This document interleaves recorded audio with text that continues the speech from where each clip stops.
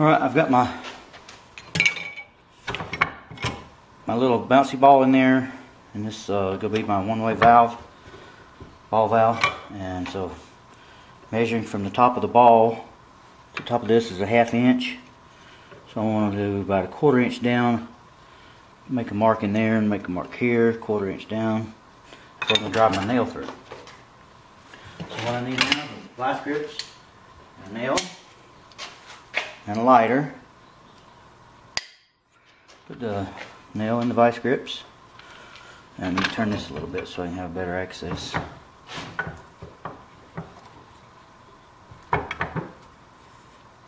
Okay, this is going to be my retainer. So I'm going to heat this up for a few seconds, get it hot enough to punch all the way through both sides.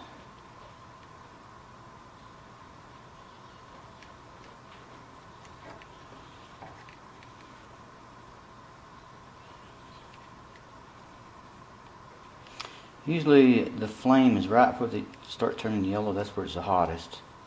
So hold it about middle of the yellow. And stick it in there.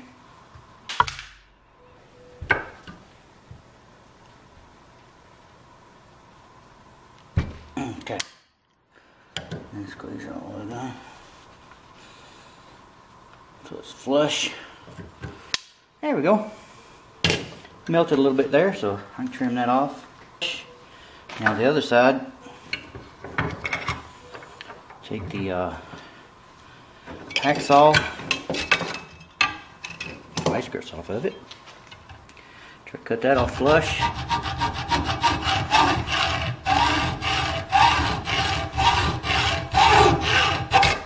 Okay.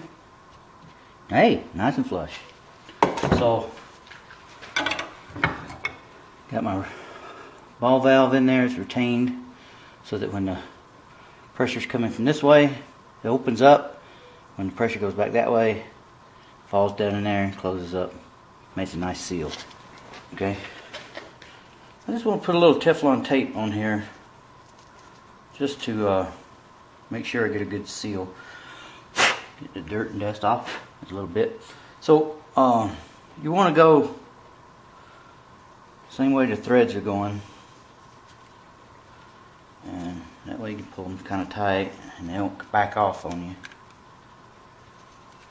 Just kind of put one around there, go right down. That's probably good enough. Pull that tight and we're ready to install that and thread it in. So I have a slip joint here this is going to be threaded in here.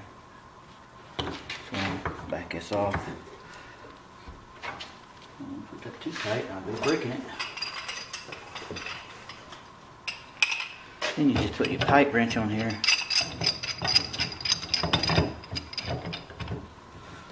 Turn it around a few rounds so you feel like it's pretty good. Uh,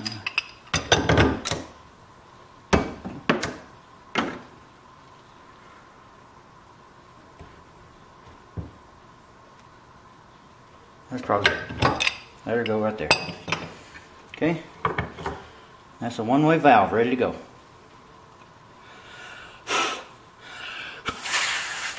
Works good. On to the next one. Got the next one here ready to go. Got the retainer in there. The retainer nail. Put my uh, Teflon tape on there. Seems awful dusty in here. Good shot. Go all the way to the thread tips, all the way down. Way good and sealed. Okay.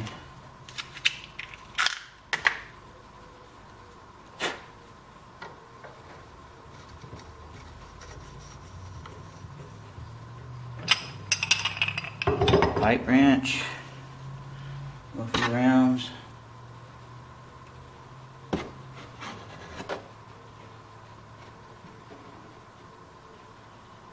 Uh, I got about 10, 10 pounds of torque on there, not too much. You don't want to break the PVC and it will break.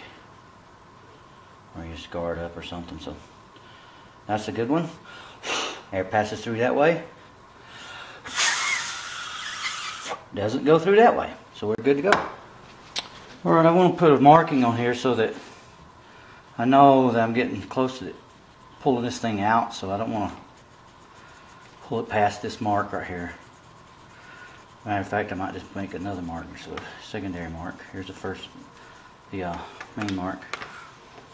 And come back down about an inch and make another mark. So when I see this, when I'm using the pump, I know that I'm in danger of pulling the thing out.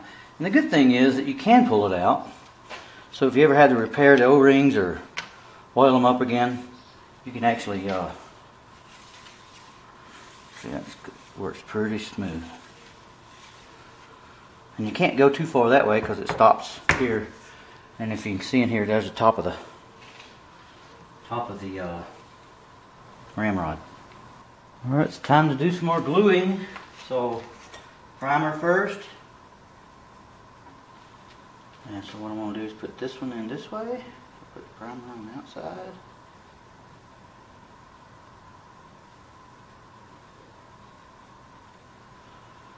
Primer it good. And then I'll put this one on this side. Primer it good.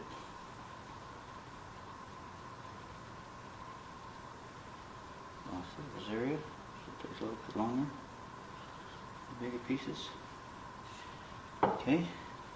These are already, the T handles, or T, slip T's already uh, primered. So now we got some glue.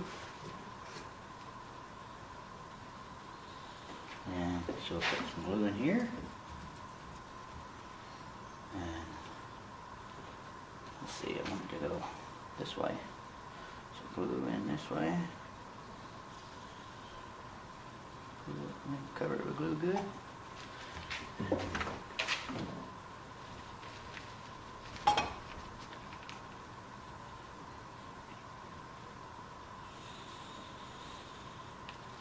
Okay. And then ready this side.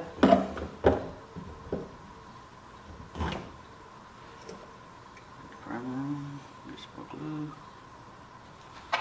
More glue, glue. Gooey, gooey glue.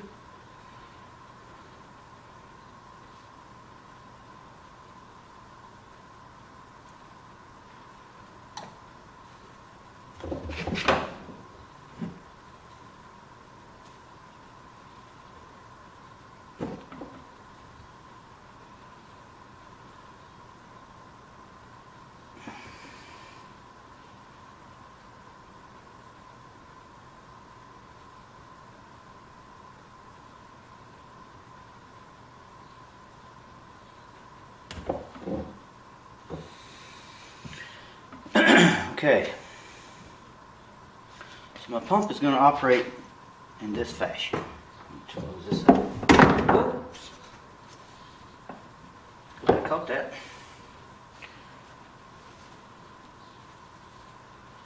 Okay. Um, it's going to suck in this way when you pull up, and then when you push out, it's going to blow out this way. So eventually I can retrofit a hose or another pipe, make it as long as I like. Same way here. And uh, I can repair these valves if I need to, like if the ball goes bad I can take this off or take this one off. And uh, that way I can do some repairs. So, looks good. And so, give it a few minutes to dry and we'll go give her a test.